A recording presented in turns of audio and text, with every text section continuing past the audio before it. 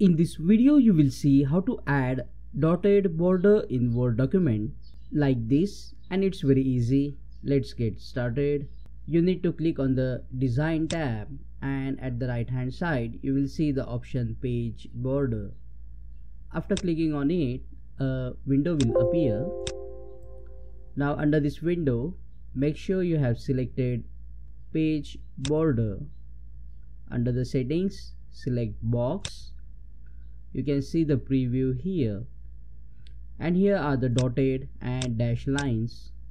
Select anyone you want.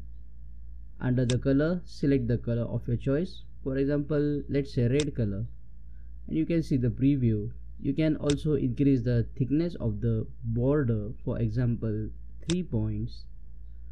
And because we want to apply this to the whole document so we will select whole document and click on OK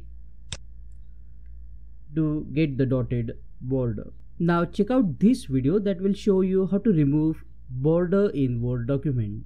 Click on that like button, comment below and let me know if this video solved your problem. Subscribe and press the bell icon if you want to learn more tips and tricks quickly like this. Thank you.